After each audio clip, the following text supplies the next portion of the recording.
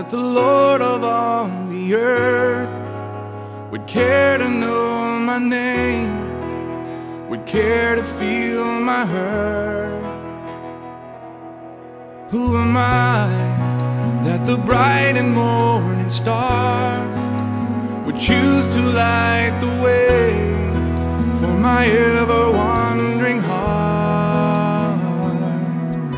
Not because of who I am, but because of what you've done. Not because of what I've done, but because of who you are.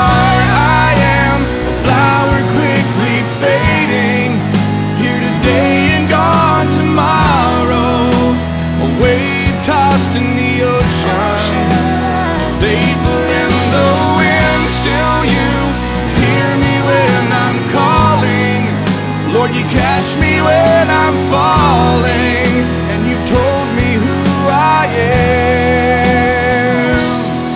I am yours. I am yours.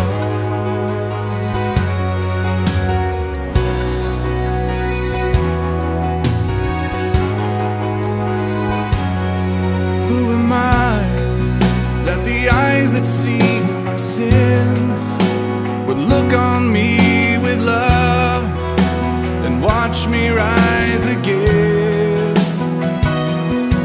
Who am I that the voice that calmed the sea would call out through the rain and calm the storm in me?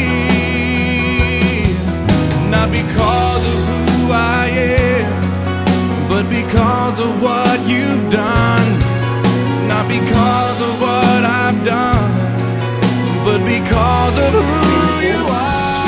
neglect our commitment very often. Even though we are born again in Jesus Christ, we are sometimes living like non-Christians.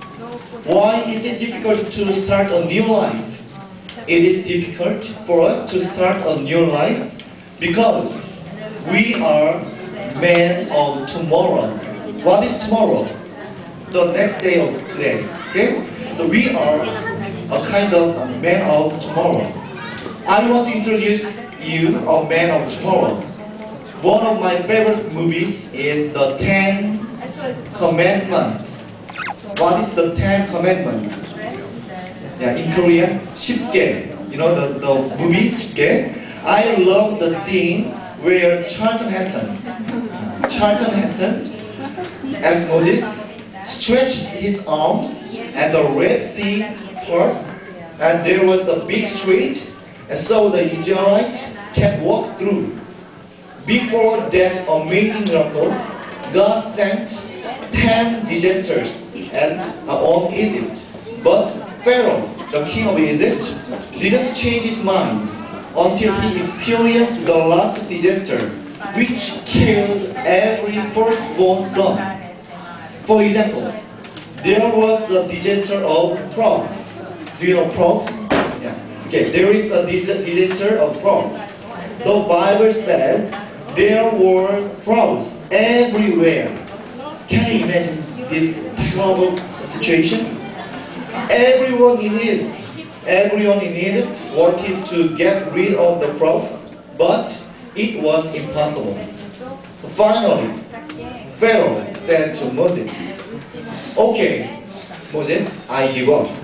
So Moses asked, When do you want me to get rid of the frogs? Now, Pharaoh's answer was classic.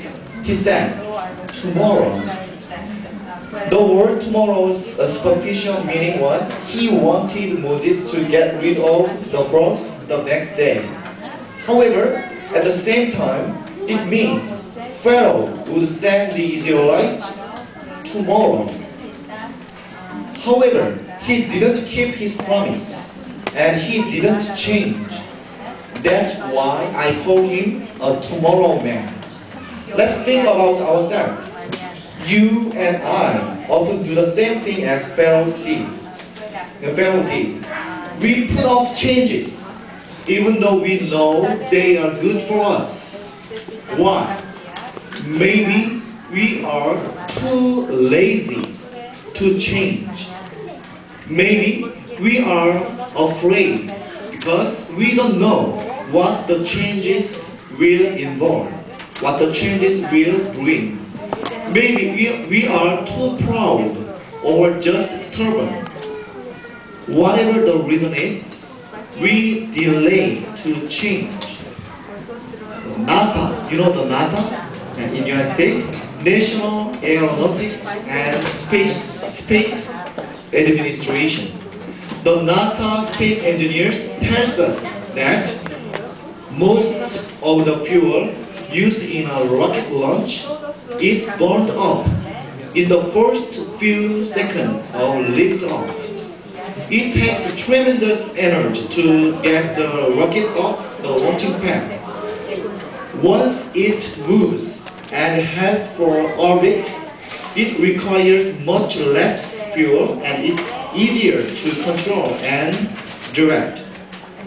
What I want to remind you is it is very hard to change yourself, but if you get yourself off the launching pad, you will experience you will experience amazing changes in your life. Although you may agree with everything I say, you may still wait and hesitate to change your old habit.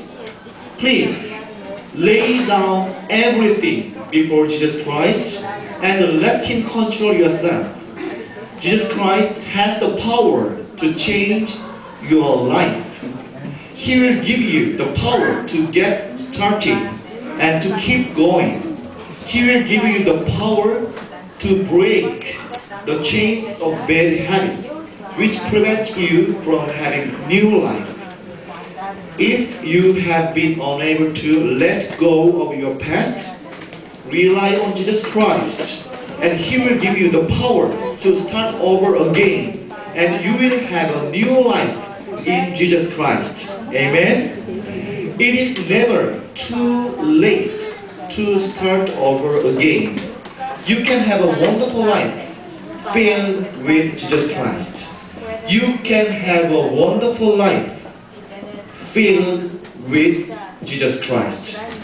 Maybe you are overwhelmed by your problems. However, the resurrection power reminds us that, reminds you that no situation is hopeless. Brothers and sisters in Christ, relax and trust God.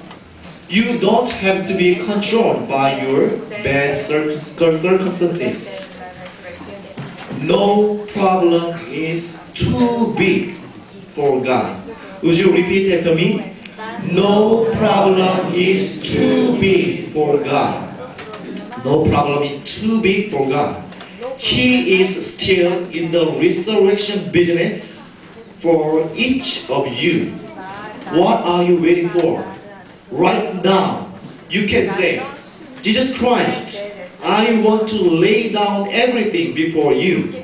I want to kneel down before you. Please take my life. Take even the bad and the ugly in us. Take every part of me. Would you, would you repeat after me? Jesus Christ, Jesus Christ, I want to lay down I want to lay down everything before you. everything before you. I want to kneel down before you. I want to kneel down before you. Please take my life. Please take my life. Take every part of me. Take every part of me. You are my Savior. You are my Savior. You are my Lord. You are my Lord. Let's pray. Heavenly Father, we know we need to change our lives. But you know we are very weak and lazy to change our lives. Please lead us and give us your resurrection power, which can change our old life into new one in Jesus Christ. Please make us lay down everything before Jesus and let Him control ourselves. I pray in Jesus' name. Amen.